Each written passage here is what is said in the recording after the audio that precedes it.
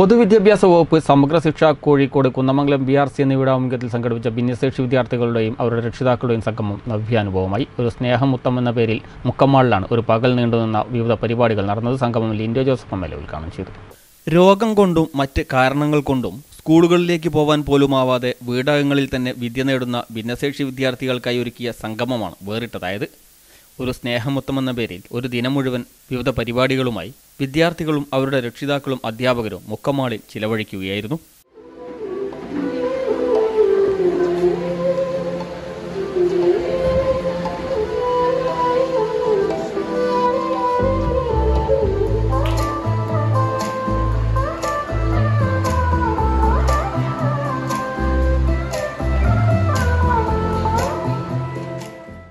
ആദ്യമുത്തം എന്ന പേരിൽ വരവേൽപ്പും മണിമുത്തം എന്ന പേരിൽ ഉദ്ഘാടന ചടങ്ങും സ്നേഹമുത്തം എന്ന പേരിൽ അതിഥികളുടെ സന്ദർശനവും ഒറ്റയല്ല നമ്മൾ ഒറ്റയല്ല എന്ന പേരിൽ ഡോക്ടർമാരുമായുള്ള സംവാദവും തുടങ്ങി കളിമുത്തം കലാമുത്തം സംഗീതമുത്തം സമ്മാനമുത്തം എന്നീ പരിപാടികളിലൂടെ മുത്താം മുക്കത്തെ എന്ന തലക്കെട്ടിൽ നഗരക്കാഴ്ചകളും കണ്ട് മിനി പാർക്കും മുളങ്കാടും ഫയർ സ്റ്റേഷനും സന്ദർശിച്ചാണ് പരിപാടികൾ അവസാനിപ്പിച്ചത്.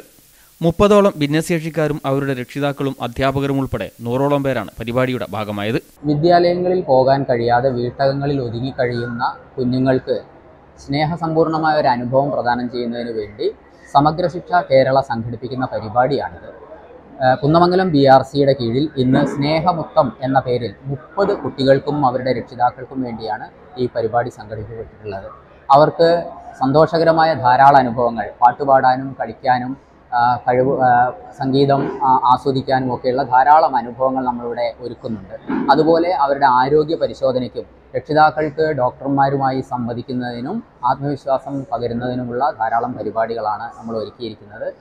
സമ്മാനങ്ങൾ വിവിധ ഏജൻസികൾ അവർ കുട്ടികൾക്ക് സമ്മാനങ്ങൾ നൽകും. കൈനിറയ സമ്മാനവുമായിട്ടാണ് വൈകുന്നേരം ഈ കുട്ടികൾ തിരിച്ചു പോകുന്നത്.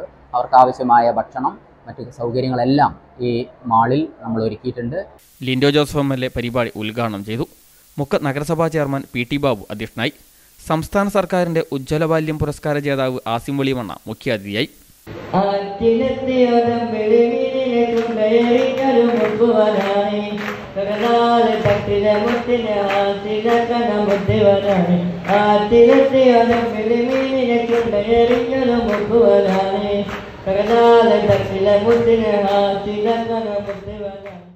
നഗരസഭ vice chairperson advocate K P Chandini വിദ്യാഭ്യാസ standing committee chairman E Sathyanarayanan Karassery ഗ്രാമപഞ്ചായത്ത് vice president Jamshid Kanchanamala Kunnamangalam B P C P N Ajayan Mukkam A EO T Deepthi care and cure chairman Abdul Rahman വ്യാപാരി വ്യവസായി ഏകോപന സമിതി president Ali Akbar വ്യാപാരി വ്യവസായി സമിതി president Rafeeq A K Siddique P K Manoj Kumar തുടങ്ങിയവർ സംസാരിച്ചു.